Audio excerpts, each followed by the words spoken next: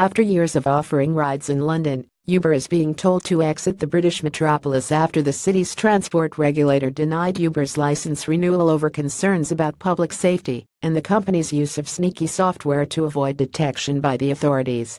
As of September 30, Uber will no longer have the authority to operate in London, following a Transport for London TfL determination that Uber London Limited is not fit and proper to hold a private hire operator license.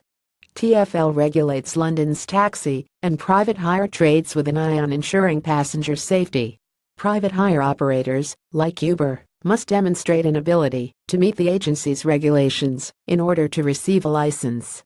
Uber's license is set to expire on September 30th. It was seeking a five-year renewal. Not fit and proper according to TfL. Uber's approach and conduct demonstrate a lack of corporate responsibility in relation to a number of issues which have potential public safety and security implications. Specifically, those issues related to Uber's approach to reporting serious criminal offenses, obtaining medical certificates, and ensuring driver background checks are obtained.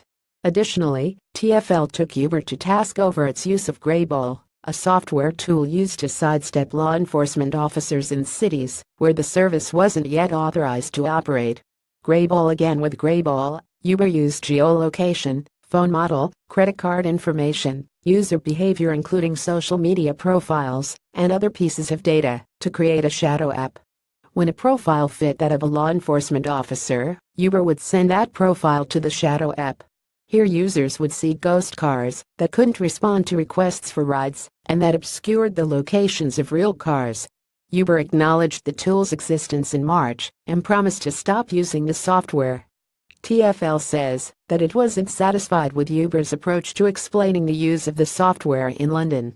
Uber's use of Greyball has caused the company to come under increased scrutiny in recent months. Just last week, the city of Portland, or, concluded that Uber used Greyball to evade detection by more than a dozen local government officials before the company had proper permits to operate in the city. Also stateside, in May, sources revealed that the Justice Department had opened a criminal investigation against Uber over the use of Greyball. Regulators in California are also reportedly undertaking their own investigation into Greyball an appeal under the Private Hire Vehicles Act, companies denied a license to operate in London have 21 days to appeal the decision. The company would be able to continue operating until the appeal is resolved.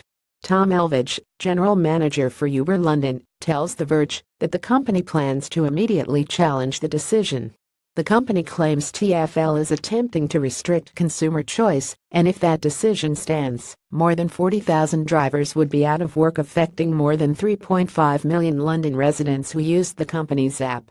Uber also addressed TfL's findings, noting that all drivers are licensed by TfL and have been through the same enhanced DBS background checks as traditional cab drivers. Additionally, the company says it has followed TfL rules on reporting serious incidents and has a dedicated team who work closely with the Metropolitan Police. As for Greyball, the company says it has already told TfL. An independent review has found that Greyball has never been used or considered in the UK for the purposes cited by TfL.